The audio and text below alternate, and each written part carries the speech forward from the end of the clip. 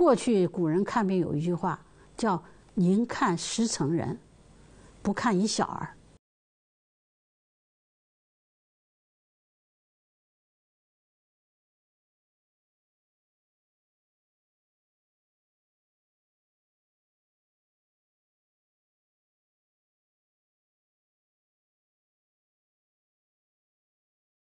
就宁愿看十个成人，不愿意看一个小孩。为什么呢？小孩的病，小孩不会说，小孩不会说他哪儿疼哪儿不舒服，所以不愿意看这小孩。后头还有一句话呢：宁看十小儿，不看一妇人。这就越来越难了。就一看一百个男人都不愿意看一个妇女，为啥呢？女同志的细内心来说，她比较细致，她比较深在，就是有很多内心的东西。但是如果你要作为一个大夫来说，我们作为长辈。作为朋友，作为师生关系也好，啊，儿女关系也好，一块聊聊这些事儿，我觉得大家都能舒畅，把我们个人的这生活经验、社会经验、工作经验，大家交流交流，我觉得就能够舒舒心。所以我经常跟病人聊天的时候，都要问问他家里有什么事儿了，帮他找找原因，找完原因还要帮他协调协调，是吧？这样的话，他心里头就宽敞，以后他月经就好了，比药物的作用还好。所以有些人，我跟他谈完以后，呀，牛大夫，你说的这个话比比给我吃药还要紧。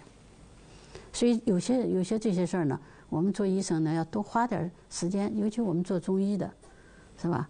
那个多给女同志像交朋友那样，把她的内心挖出来，肝就和了，那，肝气就好了。肝有两个作用，一个是一个作用就是藏血，啊，第二个就是能够理气，就疏肝，有疏泄作用。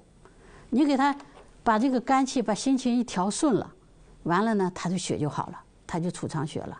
血一足，他整个运行就好了，月经就好了。经常我们看到，包括就是不生孩子的人，不生孩子的人，你看起来他是好像月经的事儿，什么不排卵的事儿，你跟他一调一讲讲，哎，夫妻关系啊，讲讲各种各种那个方法，当然要具体的指导。哎，他心情一舒畅，很快就怀孕了。我曾经用过很多的人，我有些有个学生给我介绍他的一个同学不生孩子，我一问以后，他根本没病，他全是一些误解。我给他一讲以后，方子都没开，我说你回去，两个月就怀上了。所以这些东西啊，对于女同志来说，这个心病还挺重的。所以作为我们医生来说，说实在的，第一个首先是帮助病人，第二就是安慰病人，第三就是治愈病人。治疗病人，首先我们就是安慰病人，帮助病人，找到原因以后，就这月经非常复杂。你叫我在这儿，如果我要说的话，能给你讲出很多故事来。为什么？